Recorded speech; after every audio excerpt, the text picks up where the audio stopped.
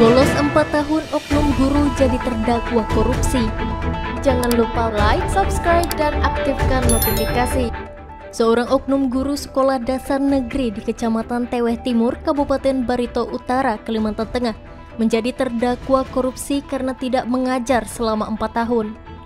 Oknum guru bernama Bijuri menjalani sidang di Pengadilan Tindak Pidana Korupsi Palangkaraya Senin 27 September 2021.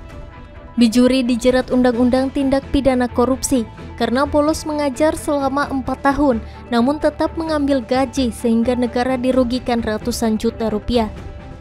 Kepala Seksi Pidana Khusus Kejaksaan Negeri Barito Utara Ramdhani mengatakan, terdakwa saat ini telah dipecat sebagai guru maupun pegawai negeri sipil. Bijuri tidak mengajar sejak bulan Juli 2016 sampai dengan November 2020. Namun gaji yang ditransfer ke rekeningnya tetap diambil melalui anjungan tunai mandiri. Andre untuk Tabengan TV.